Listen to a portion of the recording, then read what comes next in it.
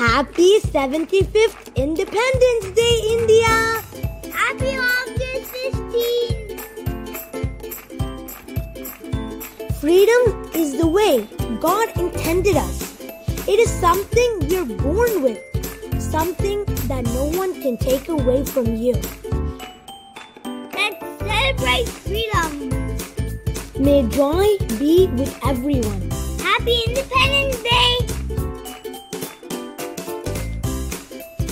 We must move forward with nation first, always first mantra, said by Prime Minister Modi. Let's celebrate August 15! In August 15!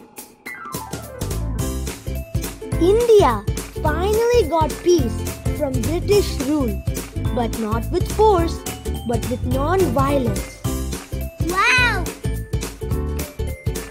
Happy Independence Day!